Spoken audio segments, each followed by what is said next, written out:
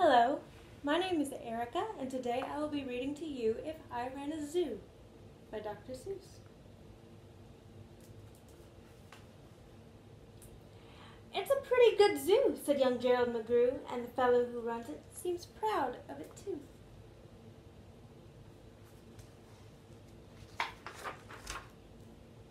But if I ran the zoo, said young Gerald McGrew, I'd make a few changes. That's just what I'd do. The lions and tigers and that kind of stuff they have up here now are not quite good enough. You see things like these things just in any old zoo. They're awfully old-fashioned. I want something new.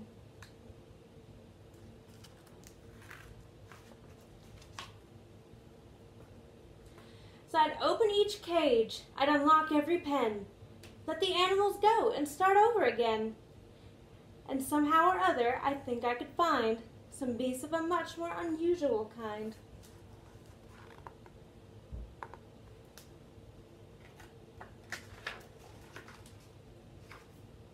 A four-footed lion's not much of a beast. The one in my zoo will have ten feet at least. Five legs on the left, five more on the right. Then people will stare and they'll say, what a sight! This zookeeper, new keeper, Gerald's quite keen. That's the gold darndest lion I'd ever seen.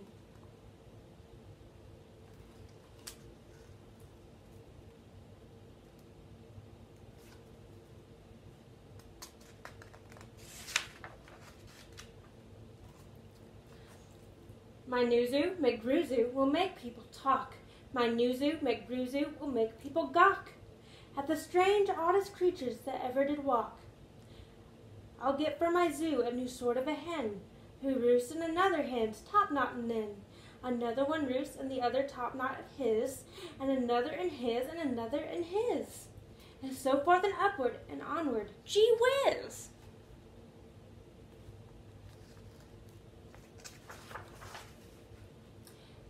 But that's just the start. I'll do better than that. They'll see me next day in my zookeeper's hat, coming into my zoo with an elephant cat. They'll be so surprised, they'll all swallow their gum. They'll ask, when, when they see my strange animals come, where do you suppose he gets these things like that from? His animals all have such very odd faces. I'll bet he must hunt them in rather odd places.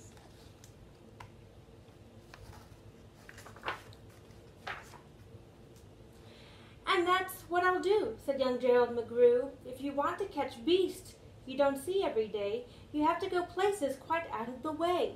You have to go places no others can go to. You have to get cold and you have to get wet too. Up past the North Pole where the frozen winds squeal, I'll go, I'll hunt in my Skeegle mobile and bring back a family of what do you know? And that's how my new zoo, McGrewzoo, will grow.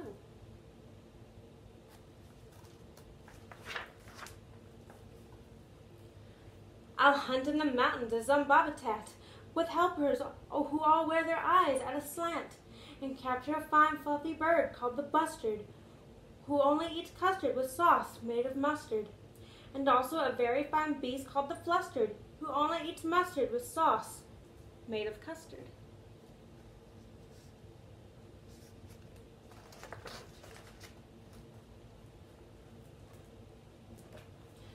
I'll catch 'em in caves. I'll catch 'em in brooks. I'll catch 'em in crannies. I'll catch 'em in nooks that you don't read about in geography books. I'll catch 'em in countries that no one can spell, like the country of Matapatapatapel. In a country like that, if a hunter is clever, he'll hunt up some beast that you never saw ever.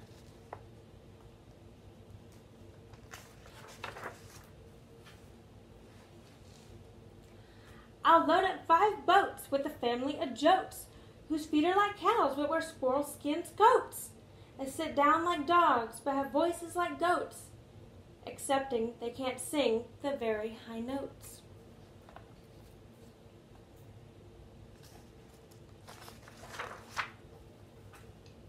And then I'll go down to the winds of Nantucket and capture a family of lunks in a bucket. And people will say, now I like that boy heaps. His Nuzu McGrewzoo is growing by leaps. He captures them wild he captures them meek. He captures them slim and he captures them sleek. What do you suppose he will capture next week?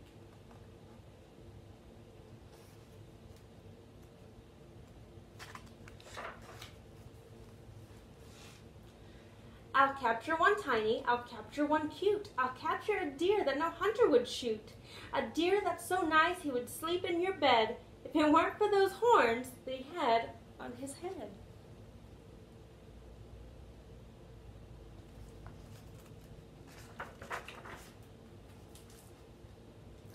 And speaking of horns, that are just about queer, I'll bring back a very odd family of deer. A father, a mother, two sisters, a brother, whose horns are connected from one to the other. Whose horns are so mixed they can't tell them apart, can't tell where they end, and can't tell where they start. Each deer's mighty puzzled, he's never yet found if his horns are hers or the other way around.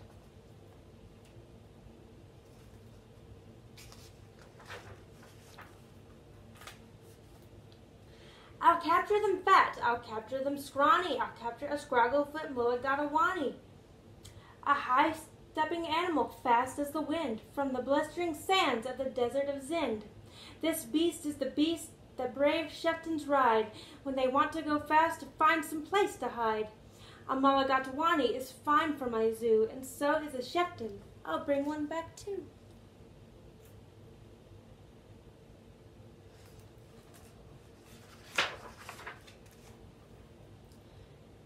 In the far western part of southeast North Dakota lives a very fine animal called the Iota. But I'll capture one who is even much finer in the northern eastern west part of South Carolina. When people see him, they will say, Now be thundered. This Nuzu McGrewzoo is really a wonder.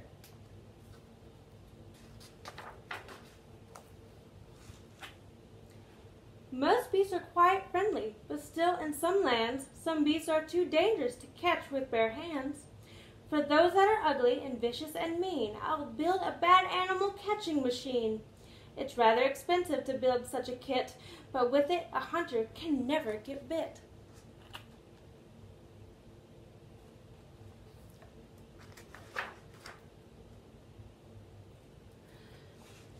A zoo should have bugs, so I'll capture a Thwerll whose legs are snarled up in a terrible snarl. And then I'll go out and capture some Chuggs, some key shooter, mean shooter, bean shooter bugs.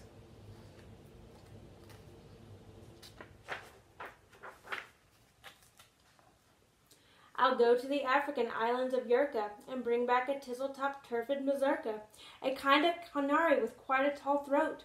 His neck is so long if he swallows an oat for breakfast the first day of April, they say, it has to go down such a very long way that it gets to his stomach on the 15th of May.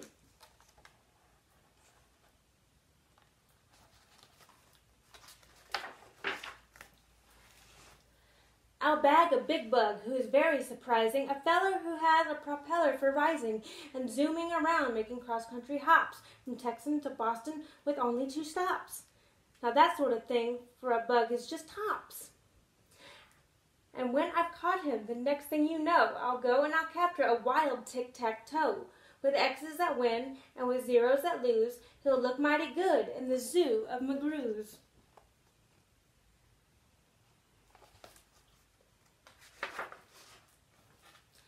I'll bring back gussets, a churkin, and a gasket, and also a Gootch from the wilds of Nantasket. And eight Persian princes will carry the basket, but what their names are, I don't know, so don't ask it.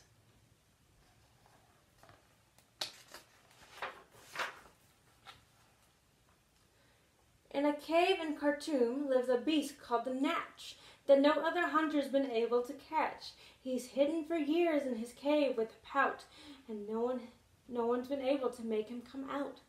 But I'll coax him out with a wonderful meal that's cooked by my cooks in my cooker mobile.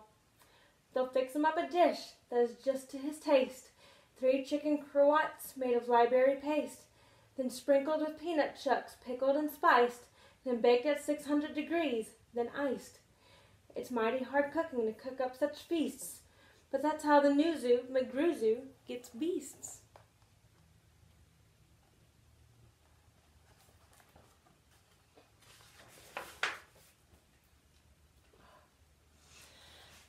I'll go to the faraway mountains of Tobsk, near the river of Nobsk, and I'll bring back an Obsk, a sort of a kind of a thingamabobsk, who only eats rhubarb and corn on the copse. Then people will flock to my zoo in a mopsk. McGrew, they will say, does a wonderful jobsk. He hunts with such vim and he hunts with such vigor. His new zoo, McGrew Zoo, gets bigger and bigger.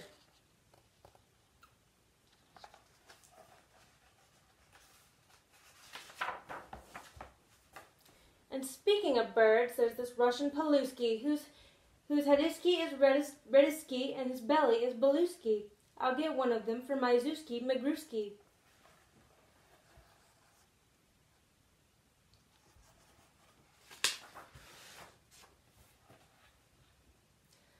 Then the whole town will gasp, but why this boy never sleeps. No keeper before ever kept what he keeps.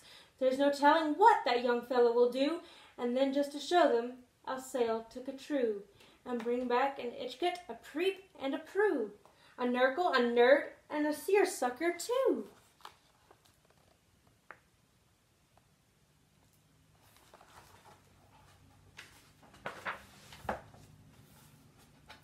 I'll hunt in the jungles of Hipponohungus. I'll bring back a flock of uh, all Biponobungus.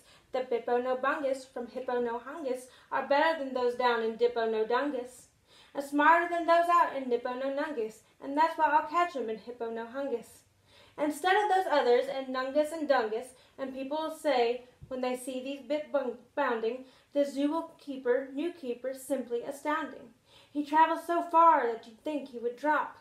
When do you suppose this young fellow will stop? Stop?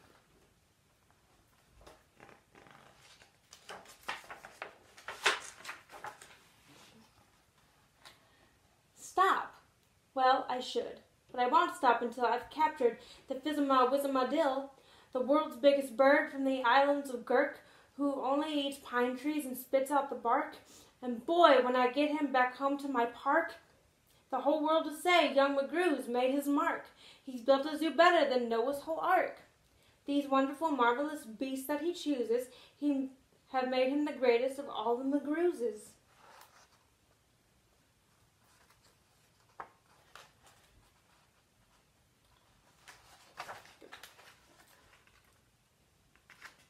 Wow, they're all cheer. What the zoo must be worth. It's the gold darndest zoo on the face of the earth.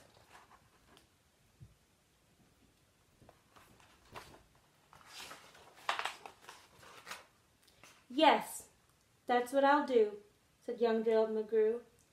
I'd make a few changes if I ran the zoo.